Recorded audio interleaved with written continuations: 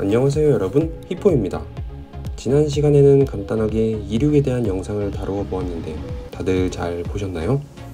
혹시나 설명이 미흡한 점이나 추가적인 설명이 필요한 부분이 있으면 댓글을 남겨주시면 다음번 영상에 실어보도록 하겠습니다. 오늘은 지난번 영상에 이어 왜 이륙 시에 오른쪽 러더를 찾아야 하는지에 대해 이야기해 보도록 하겠습니다. 지난번 세스나 기종을 이용해서 이륙을 시도할 때 turn coordinator의 볼이 약간 오른쪽으로 튀어 있는 현상을 볼 수 있었는데요. 이 의미는 지난 영상에서도 말씀드렸듯이 비행기가 계속 왼쪽을 바라보려고 하는 경향이 있다는 뜻입니다. 그렇기 때문에 저는 이륙을 하며 오른쪽 rudder를 약간 차야 한다고 말씀을 드렸는데요. 이를 항공 용어로는 turning tendency라고 합니다. 이 터닝 텐던시는 주로 프로펠러 단발기에서 나타나는 현상입니다. 따라서 일부 프로펠러 쌍발기나 제트기에는 크게 연관이 없는 상황이긴 한데요. 그 이유는 프로펠러 단발기는 동체 중앙에 위치한 프로펠러가 오직 한 방향으로만 돌고 있기 때문입니다. 아니, 프로펠러는 동체와 평행한 축에서 회전을 하며 추진력을 생성하고 있는 것일 뿐인데, 그럼 왜 이 프로펠러가 동체를 왼쪽으로 틀려고 하는 것일까요? 이를 비행 이론에서는 총 4가지로 뽑고 있습니다. Torque reaction, P factor, corkscrew effect, 자이로스코픽 액션입니다. 토크 리액션은 뉴턴의 제3법칙, 작용 반작용의 법칙에 의해 일어나는 현상입니다. 작용 반작용은 어떤 힘이 작용했을 때 그 반대쪽으로 똑같은 크기의 힘이 작용한다는 뉴턴의 법칙인데요. 흔히 예시를 들 때 벽 앞에 서서 벽을 밀게 되면 벽이 밀리는 게 아니라 사람이 밀리는 것으로 증명하곤 하죠. 이와 똑같이 엔진이 회전을 하여 프로펠러를 돌리게 되면 프로펠러가 돌아가는 반대 방향으로 비행기가 돌아가려고 하는 현상이 생깁니다.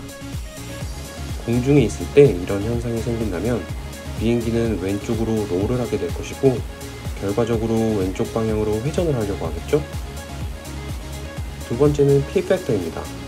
이 P 팩터는 프로펠러의 P와 요소인 factor를 합친 합성어인데요.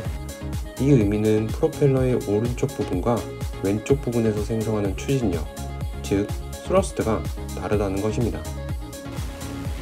그 이유는 항공기가 앞으로 이륙할 때 항공기 코가 지면과 평행하지 않고 위로 들려 있는 상태인 것과 항공기 프로펠러가 오른쪽은 내려오고 왼쪽에서는 올라오는 동작을 취하기 때문인데요. 프로펠러는 기본적으로 선풍기의 날 또는 비행기의 날개와 같다고 생각을 해주시면 됩니다.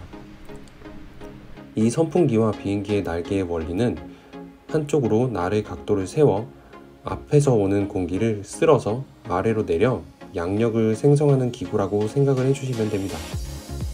여기서 공기가 들어오는 각도와 날개의 각도의 차이를 angle of attack이라고 표현을 합니다. 이러한 메커니즘으로 모든 공기가 멈춰 있다고 가정을 하면 프로펠러가 회전할 때 공기를 뒤로 밀어주는 양은 양쪽 모두 동일하게 됩니다. 하지만 항공기는 앞으로 진행을 하고 있는 상태이며 이륙 시에는 조종간을 당겨 항공기의 코가 위쪽을 향해 있는 상태입니다. 이 상태에서는 맞바람으로 불어오는 공기가 프로펠러의 아래쪽으로 들어오게 되고 이 현상이 프로펠러의 오른쪽 면에서 내려오는 동작을 하는 프로펠러 날개의 어택을 올라오는 동작을 하는 반대쪽 날개의 어택보다 더 높아지게 해줍니다. 조금 더 간단하게 설명하면 비행기가 기울어진 상태에서 바람은 정면에서 뒤쪽으로 불어가는데 위쪽으로 올라오는 프로펠러는 바람이 흘러가는 방향인 뒤쪽으로 이동하며 공기를 쓸어 보내게 되고 아래쪽으로 내려가는 프로펠러는 상대적으로 앞쪽으로 이동을 하며 공기를 쓸어 보내게 되므로 공기의 흐름과 같은 방향으로 이동하는 위쪽으로 이동하는 프로펠러가 상대적으로 양력을 적게 생성한다는 것입니다. 결과적으로 왼쪽과 오른쪽이 동일하지 않은 양력 생성으로 비행기의 동체를 왼쪽으로 틀어지게 만들게 됩니다. 세 번째는 코크스크루 이펙트입니다. 이 효과는 프로펠러의 후류로 인해 발생하는 것인데요. 한쪽으로만 회전하는 프로펠러로 인해 후류가 프로펠러와 같은 방향으로 회전을 하게 되어 비행기 수직꼬리 날개를 치는 것입니다. 이렇게 왼쪽 면을 치게 되면 비행기는 결국 왼쪽을 바라보려고 하는 경향이 생기겠죠? 마지막은 자이로스코픽 이펙트입니다. 이 자이로스코픽 이펙트는 회전하는 물체는 그 회전축을 유지하려는 경향이 있다는 강직성과 회전하는 물체의 축을 변경하려고 힘을 주었을 때 그 힘을 준 방향을 기준으로 회전하는 방향의 90도 방향에서 그 힘이 나타난다는 세차 운동을 말합니다. 비행기에서는 프로펠러가 회전하고 있는 물체이므로 이 자이로스코픽 효과에 영향을 받게 되는데요. 비행기가 이륙하며 코를 들기 시작할 때 프로펠러의 아랫부분에서 위를 향하려고 하는 힘을 받아 프로펠러가 회전하는 방향의 90도 방향인 왼쪽 면에서도 같은 힘이 작용하게 됩니다. 이 때문에 항공기는 오른쪽을 바라보려고 하는 경향이 생기게 되죠. 이 모든 현상들이 합쳐져서 항공기가 이륙할 때 왼쪽을 바라보려고 하는 경향이 생기게 됩니다. 그렇기 때문에 이 밸런스를 맞춰주기 위해서 오른쪽 rudder를 차서 turn coordinator의 볼을 정중앙에 맞춰주어야 하죠. 하지만 굳이 이륙할 때 차주지 않아도 아주 약간만 틀어진 것이고 비행기는 잘만 가는 것 같은데 이렇게까지 중요하다라고 할 게 있을까요? 저희 답은 그렇다입니다. 이전 영상에서도 한 번 말씀드린 적이 있는데 비행기의 날개는 앞으로 나아가는 추진력을 이용해 양력을 형성하게 됩니다. 앞에서 오는 공기를 날개 표면이 쓸어 담아 날개 아랫면에 고기압을 형성하게 되고 이를 쓸어내리면서 작용 반작용 법칙이 함께 일어나 비행기를 들어 올리게 되죠. 이 양력은 필수적으로 공기가 날개의 표면을 쓸고 지나가야 생성이 되는데요.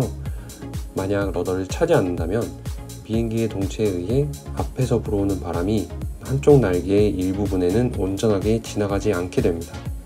즉, 양쪽 날개의 양력이 동일하지 않게 되죠. 하지만 이륙과 착륙을 할 시에는 비행기의 속도가 느리기 때문에 양력이 아주 충분하지 않습니다. 만약 이런 상황에서 악기상 조건인 윈드시어, 터뷸런스를 만나게 되거나 조종사가 실수를 하여 조종 간의 조작을 급격하게 해버리면 항공기는 양력을 잃어버리는 실속에 빠질 가능성이 있습니다. 일반적인 상태에서 이 실속에 빠지게 된다면 다시 양력을 회복하기 위해서는 그저 항공기를 약간 하강하는 자세로 만들고 스로틀을 끝까지 밀어넣어 속도만 다시 붙여주면 됩니다. 하지만 만약 러더를 차지 않아 양쪽 날개의 양력이 동일하지 않을 때 실속 상태로 들어가게 된다면 항공기는 바로 스핀에 빠지게 됩니다. 이 스핀은 항공기가 나선 형태로 회전하며 추락하는 현상을 스핀이라고 부릅니다. 물론 이 스핀을 회복하는 절차도 있지만 이 스핀을 복구하기 위해서는 세스나 기준으로는 보통 지면으로부터 2000피트, 많게는 4000에서 5000피트까지도 필요한 경우가 있습니다. 그렇기 때문에 지면에서 가까운 이륙과 착륙 시에는 스핀으로부터 복구하는 것이 거의 불가능하겠죠?